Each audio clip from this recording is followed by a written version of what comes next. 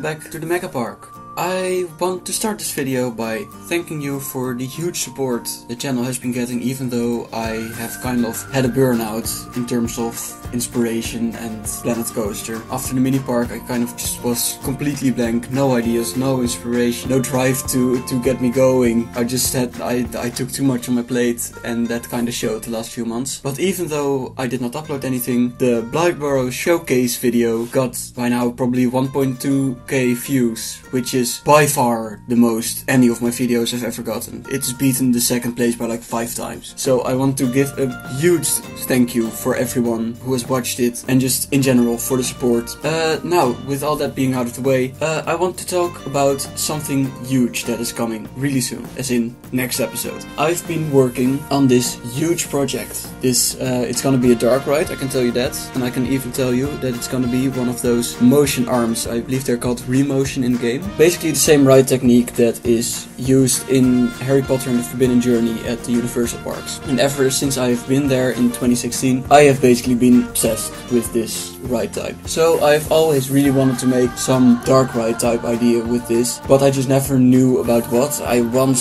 started like two years ago with a Batman themed ride with this remotion uh, style, but I never got past the first scene. But I can tell you already, like by the time this goes out, I am practically done with this ride already. I've kind of built up a backlog so that there's never gonna be like this big gap in my videos again. So this project, it's gonna be in more of a fantasy type style, as in at least from the outside appearing, which brings me to the facade, which is the best building I've ever built in my life in Planet Coaster. There's nothing that competes with it. To give you a little bit of perspective, Blytheboro in total has 160,000 pieces, which is a bunch. But the biggest building in the entire city only has about 4 to 5,000. This facade I've built is 27,000 pieces big and it's only the facade. There's no queue, nothing inside the ride that also contributes to this piece count. So it's it's gonna be huge. I'm I'm so proud. It's just unbelievable how good it's looking. And just watching that next episode, just just trust me, it's gonna be amazing. It it looks so good. But that does bring me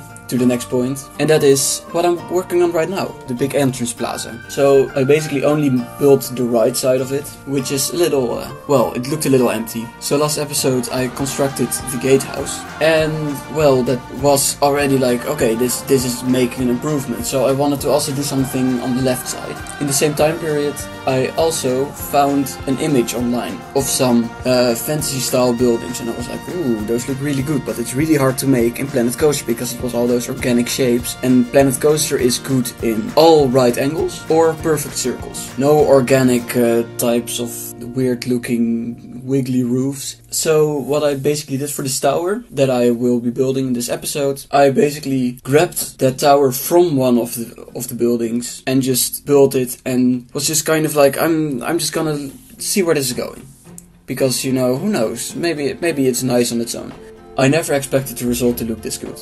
I am absolutely I, when I was done with this tower I was just blown away, absolutely in love.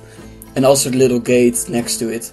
Uh, and that actually that little gate that inspired me to something, or at least well, it looks like on the time lapse I built the car ride first and then the gate, but actually it was like my plan to build this fantasy style gate, which I eventually did. And then I was like, what am I going to have through there? And of course, by now we know, it's this classic car ride.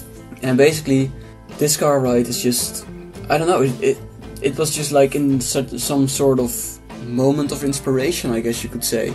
It was uh, not not something I had planned on months in advance or anything. It was just like, yeah, that would be cool. And so I did it, and now there's a car ride going by the by the entrance plaza, and I absolutely love it. I mean, it looks a little bland right now, of course, because there's only a small piece of it that, that's themed.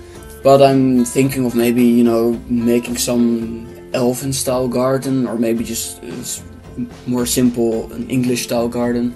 Who knows? I'm not sure yet.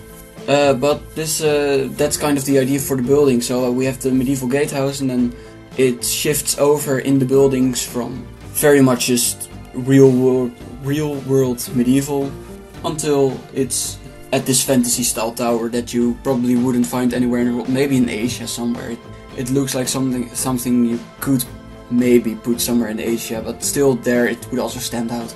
So I'm happy with that.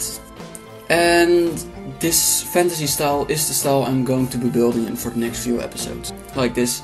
Um, or at least I will try like the in the dark ride itself it's not gonna be as much of you know this, this these weird roofs which I love by the way I love the I love the like the little circles and the little I don't even know how to explain it you know the, the, the just the, the roofs you don't see in the real world and I will be trying to really incorporate this in the main streets uh, oh also something I should probably um, probably explain.